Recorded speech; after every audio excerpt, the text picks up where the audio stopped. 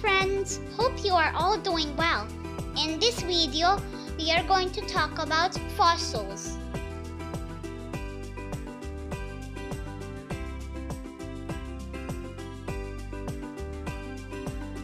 A fossil is a preserved stone remains or impression of a living organism, such as a plant, animal, microbe, or insect. Studying fossils helps scientists to learn about the history of life on Earth. Usually, the bodies of dead animals and other living things are completely destroyed. But sometimes they die in a watery environment and buried in ways that stop their decay. Soft tissues decompose, leaving the hard bones or shells behind. Over time, sediments build over the top and turn them into fossils.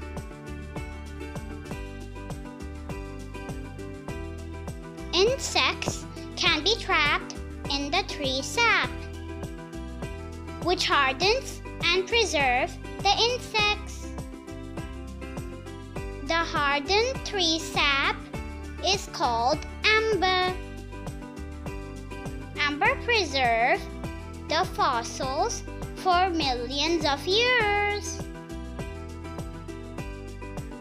There are four main types of fossils mold fossils, cast fossils, trace fossils, and true form fossils. A mold fossil is a fossilized imprint made in sand or clay.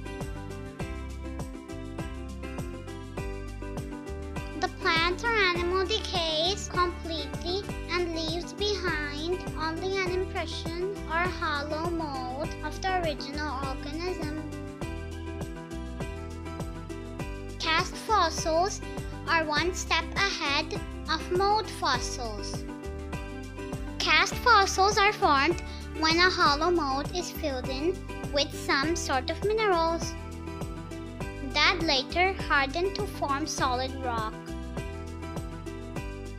Trace fossils are the most common type of fossils and also called ichnofossils. Trace fossils do not provide information about the organism itself. They give information on traces left by the organism. Common examples of trace fossils include burrows, nests, footprints, dung, and tooth marks.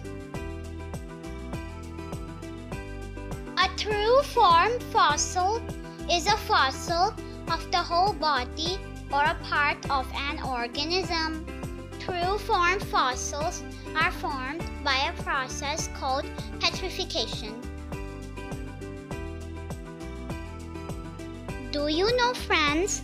A scientist who studies fossils is called paleontologist. Hope you like my video. Subscribe to my channel.